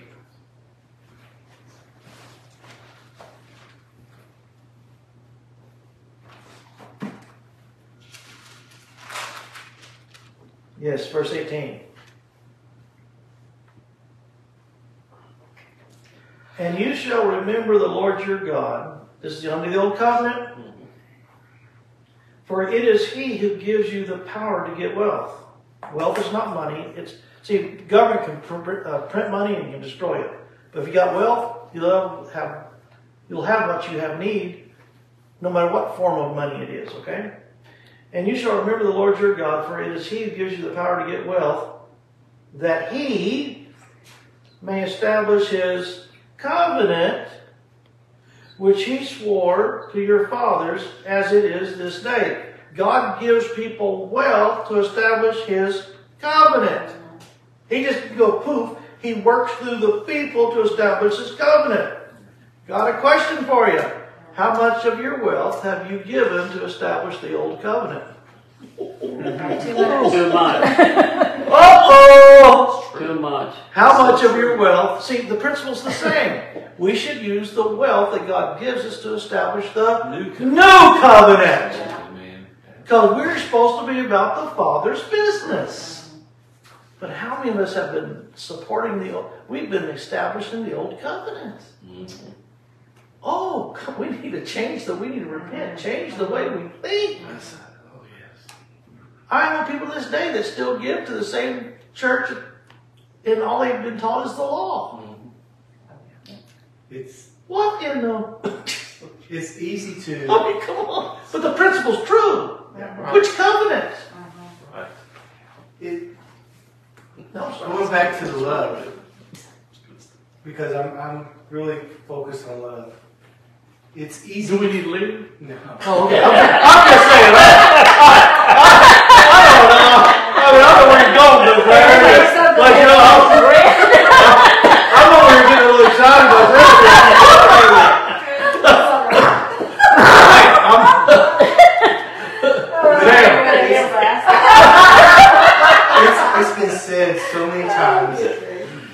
throughout my life. You know, and I've seen it and, and experienced it even in, in my my father's relationship with, with us. And it's easy for you to buy love by giving a certain amount of dollars. And and so people feel comfortable by being able to say, well, I gave, mm-hmm. so I don't have to do any more. Mm-hmm. Or I, it's not, I, I don't, I'm not expected to do any more. What I You fulfilled your obligation. Yeah, and, and of course, the one church we had to do the shekel and the half shekel. You know, and the half shekel was the extra, you know, that we had to provide, you know. And, Goodness gracious. and it was always about establishing a monetary amount. Sure. And that helped to establish your relationship with God. And I've seen this in marriages and I've seen this in families and fathers who would give their children X amount of dollars allowance so that they didn't have to go around telling the children that they love them all the time. You know, because I've already showed you I love you. I already gave you your allowance. And in my family growing up, my father did that to me. And one, and I remember one time I went to a Christmas deal in Oklahoma City Crossroads, and I took two friends with me. And Dad gave me a hundred dollars for Christmas. He turned around and he gave a hundred dollars to to Joe, and he gave a hundred dollars to Ronnie. And I thought to myself, they're not your sons. Why'd you give them a hundred apiece? And they all That's the value of the love, didn't it? they all said, said, boy, we really like your dad, you know? And I'm sitting there going, but I just got my allowance is all I got. You guys got extra, you know? And, and from that has constantly been in my head in working with God and, and so forth over the years. And I, and I've constantly had that as part of my scenario digesting these tithes and digesting all that mm-hmm. money situation because of what my father right. I mean, my grandfather made me do a promissory note when I bought stuff from him. It's Wow. all legal transaction. But Pa, Grandpa, I'm your grandson. You're still going to do a transition. You're still going to do a promissory note to pay me for those calves. Okay. And I had to sign a promissory note. So it was all about that. It- Yeah. what one man said, the business part of God. Mhm. And it's and I don't see God now Yeah, in grace Yeah. under a business aspect. I don't see him at all. I don't see him at all under monetary value. Yeah. It's all love. Yeah. And it's a different way of looking at the church world. Different way of living. And when you look at the church as that's a place of love, man, it is awesome. It's love. Then you don't have to beg people for money. They're going to want to give because it's a great place to come. Mm-hmm. You know. Yeah. And and so when I see pastors begging for offerings, Yeah. then that's showing me that you're having to make those people pay to love you, Right. like like the Father's paying me. Yeah. To How many, how many times have you heard someone say you can't afford not to tithe? Oh, Oh, yeah. thousands. Thousands. But it says don't give Which- grudgingly of ne- or of necessity. It says don't give grudgingly or necessity, but you have to. Well, we had sing the really chubby peepee peepee song when we were taking up offering because God loves a cheerful giver. Oh. So we got to be really cheerful while we're giving. You know, so let's sing it, sing it, an upbeat song. Let me read this. Bear one another's burdens and so fulfill the what? Law of Christ. That's one of the five laws of the new covenant. The law of Christ. It's also referred to as the law of love. Your address? Um, Galatians 6 3 now. For if anyone thinks himself to be something when he is nothing, uh, he deceives himself. But one, excuse me, but let each one examine his own work, and then he will have rejoicing in himself alone, and not in another. For each one shall bear his own load. Let him who is taught the word share in all good things with him who teaches. Don't uh, do not be deceived. God is not mocked. Wow. For whatever a man sows, that he will also reap. For he who sows to the flesh will also reap of the flesh. Man. reap corruption, I should say. But he who sows to the Spirit will also reap the Spirit, everlasting life. And let us not grow weary while doing good. For in due season we shall reap it if we do not lose heart. Man. Therefore, as we have opportunity, let us do good to all, especially those of the household of faith. Man, this is powerful. It's, has nothing to do with tithing. It has nothing to do with the law. If you're, if I, I believe with all my heart, like you were saying, that if you go to church and you're being fed, be about the Father's business. You know, if you're being fed a good word of God, you need to share with that that ministry that's doing a good work of God. It's not a mandate. But there's people, believe it or not, there's people that will sit in a church, hear the word of God, and never share anything of the, what they have. And then it says, don't make God's not mocked. I mean, come on. And I believe, see, I was guilty of this. Years ago, Joy and I were in the faith movement, and we used to hawk tapes. You ever know what a hawk, hawking tape is? You know, you get those recorders, you carry with you, uh-huh. and one person will buy a teaching series, a tape set, uh-huh. and you sit there and you duplicate one for everybody. That's hawking tapes. And you're giving this you're giving this teaching out and not valuing it. It has everything to do with value. If you value the Word of God, support the Word of God. If you don't, don't. Don't plant a seed in a ministry you don't agree with. I mean, it's like, stop it. How many times do you take an offering at a church before the guy speaks? Well, what if you're not going to like what he said? You just sowed into something you don't agree with. That's stupid. you know? Uh-huh. I've got to get off my get off my thing here. but we don't see it's all it's it's all about value. Uh-huh. If you value, if I don't value the gift that if I don't honor her, I won't get the gift that I won't get the gift that's in her. If you don't honor Jesus, they didn't honor him in his own hometown, and so they didn't get what he had. You know, if you don't honor wherever you go and whatever you do, if you don't honor the person, you're not going to receive the gift that person. Jesus was the anointed, but he couldn't do nothing in his own hometown. Why? A lack of honor. It's not the, the anointing is not the most powerful thing on the planet. Sorry. Some people probably would talk that. It's honor. Yes. Because if you don't honor, you won't receive the anointing. Now, if you honor, receive it, then it's going to be powerful in you. But you, Well, it's, it's the uh, scripture sowing what, reaping what you sow. That is not. That's not law. no. That's that's the creation. That, that's, that's, a, that's not an old covenant law, that's a law of creation. Creation. Right. There's a difference When it says that we're free from the law, it's, we're really saying free from the laws of righteousness. Right. You know, that's what we're talking about. We're, we're not under the law for righteousness.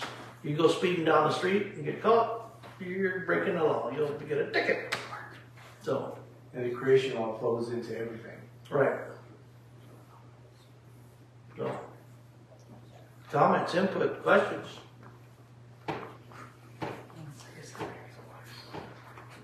This is our last night. The uh, Say it while you can. He was going on and on about love. We could just read First John 4, the whole thing. It's all about love. God is it. God is love. He's pure love. He is love. You know, it never says that God is the. There's a day of wrath, but He's not the God of wrath. He's the God of mercy. He's the God of peace. Uh, turn with me to uh, Joy. Put Isaiah 54. I mentioned I mentioned peace, the gospel of peace. I don't know if you read. I'm sure you read this, but uh, I want to show you again. Isaiah 54, verse 9. One of the things I learned in, in school in um, in Wichita Falls is that the 54 comes after 53. That's how deep my brain works. 53 in Isaiah is talking about Jesus and the sacrifice. Everybody understands that, right? So this is right after Calvary. Got it? And everything is in chronological order in the book of Isaiah. So right after Calvary, this is what he says. For this is like the waters of Noah to me, for I have sworn that the waters of Noah would no longer cover the earth. So have I sworn that I would not be, wait a minute, Angry? Angry. You ever heard that God's angry with you, nor Rebuke you. well, if God's not rebuking us, why are the pastors rebuking us? Mm-hmm. Oh, I must have hit a nerve on that That's one. so true. Oh, I mean, I it's just, know. Yeah. Wow. Yes. And this is in the Old glad it's going over. on- Wait till the This is the Old Testament talking about the new covenant. Yeah. This is talking about the new covenant period of time. Mm. 53 is the end of the old covenant. Mm. This is the beginning of the new covenant. Mm. That I would not be angry with you nor rebuke you, for the mountains shall depart and the hills be removed, but my Kindness. Shall not depart from you, nor shall my covenant of peace be removed. Mm. Next verse. I know. This is the new covenant. Says the Lord, who has what? Mercy on you. Next verse. You need to read the whole chapter. Oh, you afflicted one, tossed with tempests, and not. Con- oh, wait a minute. Let me go to the. Hold on second. Also temper. Y'all can read it. I got 54, I think it's 17. 54 and 11. 17, go to 17. I had to make sure. You ever heard of this one? No weapon formed against you will prosper. But you know they never finish the verse, do they? Uh-uh. Would you like to finish the verse?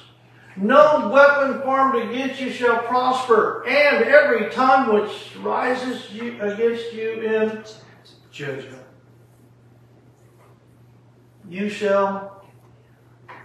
You're not condemning the person, you're condemning the word of judgment. Why? Because all judgment was poured out on Jesus at Calvary. That's right. And there's no more judgment on you. They're under the law, you're not. Yeah.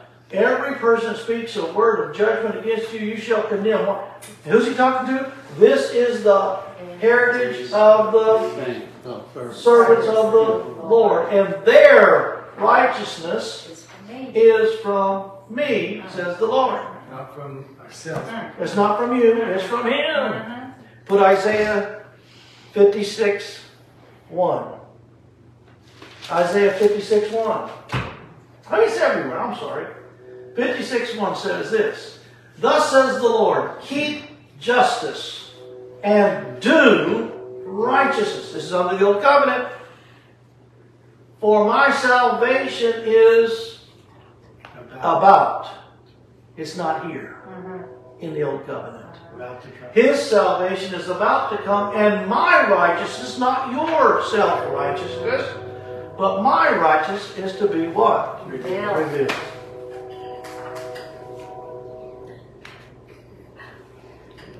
Wow. Just saying. The, the, the separation of the covenant. In, in Isaiah 54 9. That is why there's the angels came and declared peace on earth and goodwill toward men. Put put Isaiah. Uh, oh gosh, this is good. Isaiah uh, 40. Isaiah 40 verse 1. Sorry, I had to search my files. Isaiah 40 verse 1. Comfort! yes, comfort my people, says God. Speak comfort to Jerusalem and cry out to her that her warfare is over, that her iniquity is pardoned, for she has received from the Lord's hand double for all her sins. Is that the message the church is hearing? No. The war's over. God's always loved man, but he's always hated sin. What, it said, what the angel said the night that Jesus is born. Peace on See, earth. God, Peace on earth. goodwill towards. Yeah, There, see, God's always loved man, but he's hated sin. right. So God had to deal with sin so he could love man. We'll throw this one up there. Hebrews chapter 9, verse 28.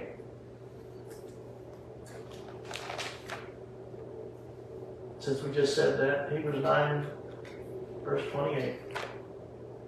So Christ was offered once to bear what? the He took care of the sin issue right there. Of many. To those who will what? Eagerly wait for him, he will appear a what? Second time? Second time. Apart from sin. Yeah. What? Because it's dealt with.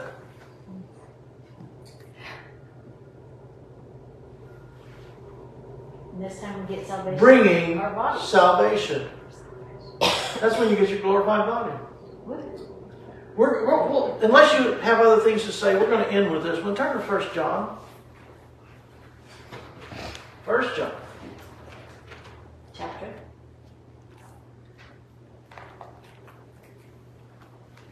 First John chapter 1.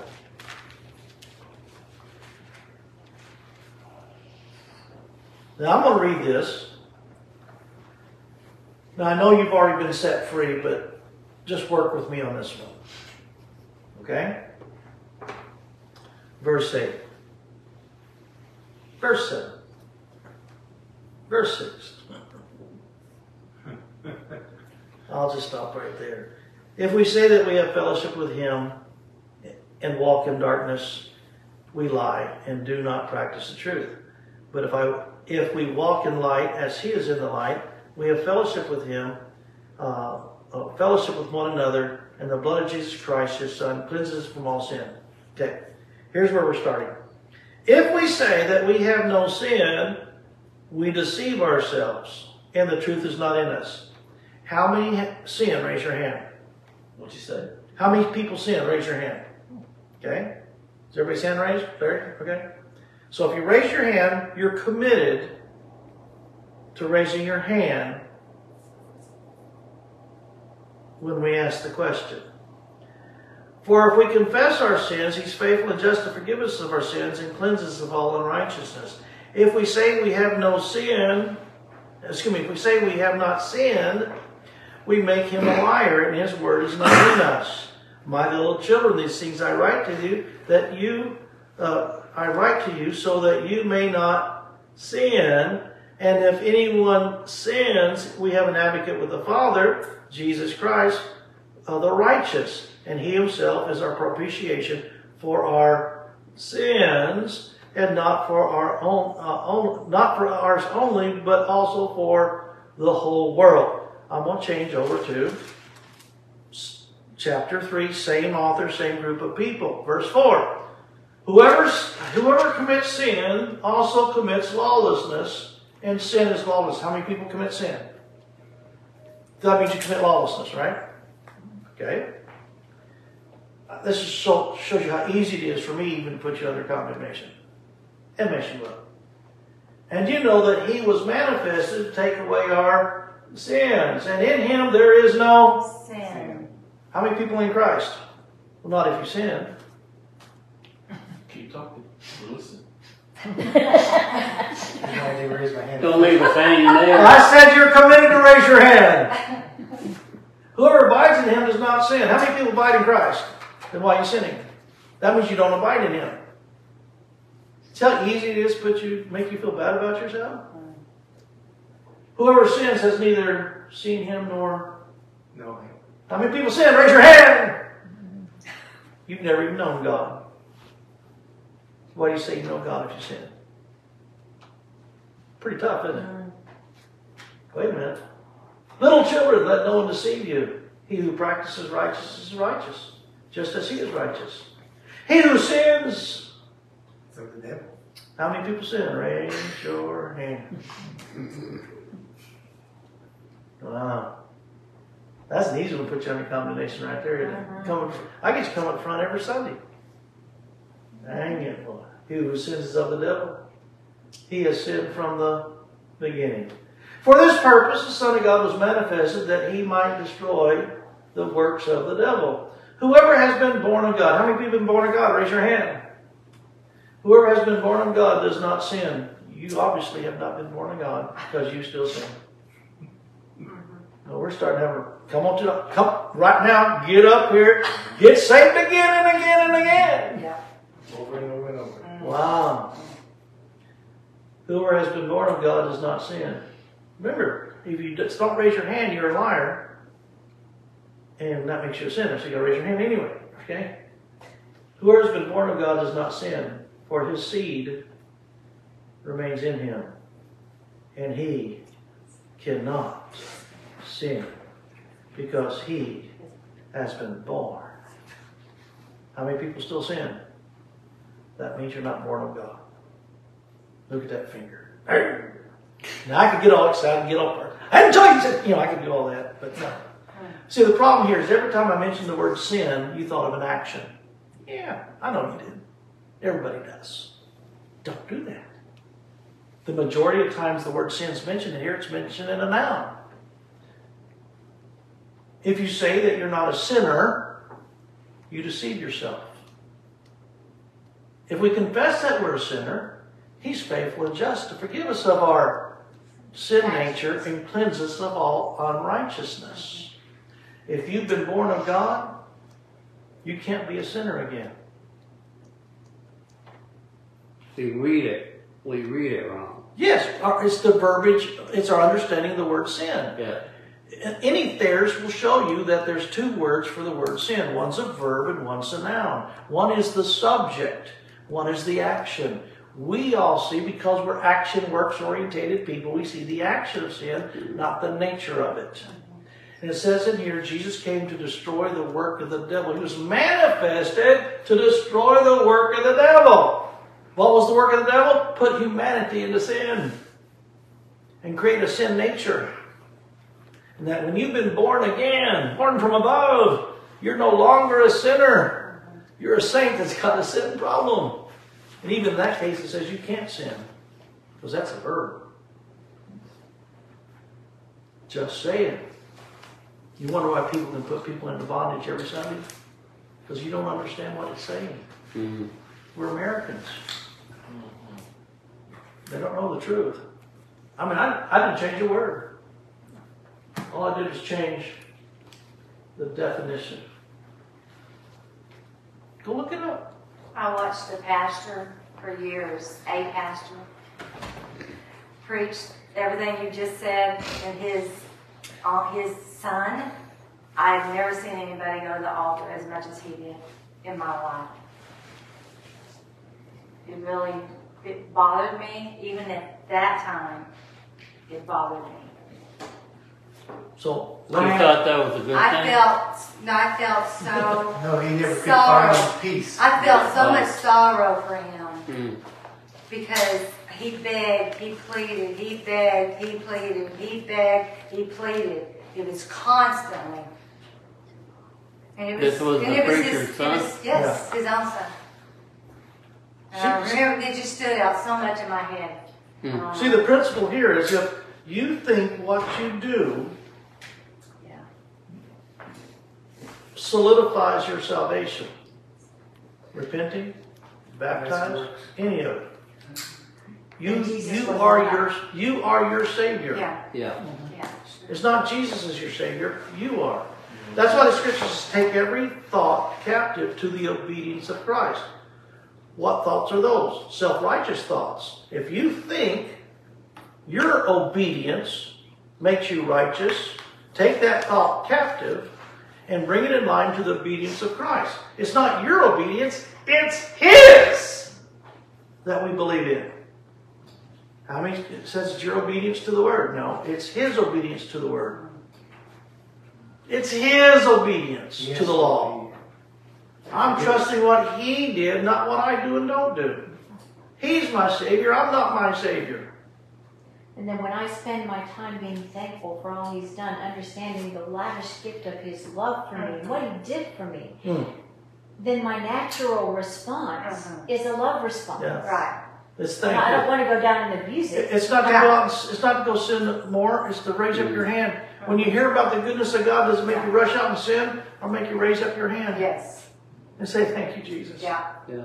Who gets the glory in the message that's being taught? You or Jesus? And really, it, it, it goes back to what you were saying, Larry. It's, it's who is getting all the attention? Me and my lack of works, and me and my lack of anything, or, or me and what I did do. Look how good I am. Mm-hmm. Or Christ. And how mm-hmm. amazing you are, Jesus, mm-hmm. that you left heaven and came to earth just for me, so that you go to the cross and take all my junk. Oh, wow. I'm so in love with you. I can hardly stand it. Yeah. So grace is God's ability in our inability. Grace gives you, you're empowered to do more work than you were under your own flesh. Grace empowers you to serve the unservable, to love the unlovable. And grace covers our stupidity. Wow, wow. By grace. And I'll say this, I started to say it earlier, I never finished it, but God is the God of several things. He's the God of love, He's the God of mercy, God of, God of, God of. Never do you see anything where it says He's the God of wrath. It is something that's going to happen on a day, but just that day. His nature is love and mercy and peace. This is like the waters of Noah to me. Wow. Did he ever flood the earth again? No, And he'll never be mad at you again. Bad. Deal with that one, people. Father, we thank you for this time you've given us to be here tonight. Holy Spirit, you're the great teacher. We simply thank you for being our teacher, giving us the grace to repent. May we repent daily from any mindset that doesn't line up with the wisdom and the logic of your word within the dispensation of grace. May our hearts be founded in the foundation of grace, who is Jesus Christ. All God's people said, Amen. Thank you for joining Pastor Curtis and Joy for this message. If you would like to hear more from Pastor Curtis or Joy, please check them out on their Coker Ministries YouTube channel. Also, please like and subscribe if these messages are a blessing to you. You can also visit their webpage at cokerministries.com. God bless you. Have a great day. This ministry functions on the support of our listeners. We appreciate your prayers and your financial blessings. Your support helps us to continue to share the message of grace, peace, Christ's righteousness, and the finished work of the cross. You can give online or digitally at the Cash App. The name is Coker Ministry or Joy Coker. Also at Venmo at Joy Coker. Or you could mail your support or prayer request to Coker Ministries, 15239 555th Avenue, Parkers Prairie, Minnesota, 56361. We pray God's blessings over you.